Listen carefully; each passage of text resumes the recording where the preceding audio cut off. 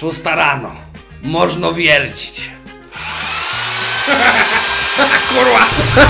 Stawaj to sąsiady! Grażyna! Wszystkie się obudziły!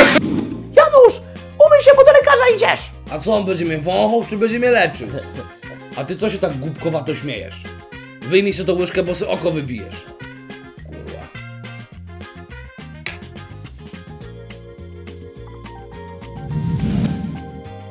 Grażyna, zrobiłabyś mi tej kapuczyny. Tate, tate, kupisz mi takie korki? Kurde, synek, korki za 500 zł? To co, one same grają? Tate, a czemu ty nie kupujesz zimówek do Passata? Synek, kiedyś w ogóle nie było zimówek i ludzie jakoś żyły.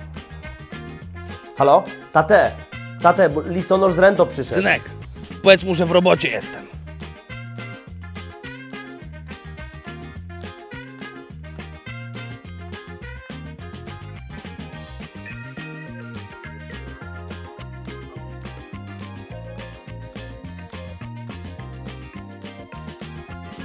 Kurwa, sąsiad teraz pod drugim blogiem będzie musiał stanąć.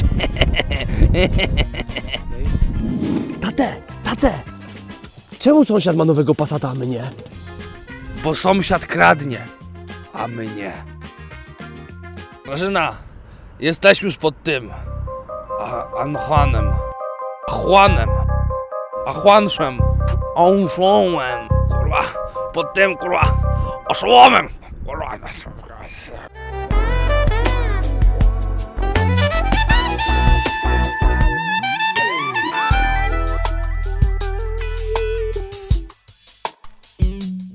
Myłeś się? Myłem się. Będziem się kochać. I no odwrócę święty obrazek.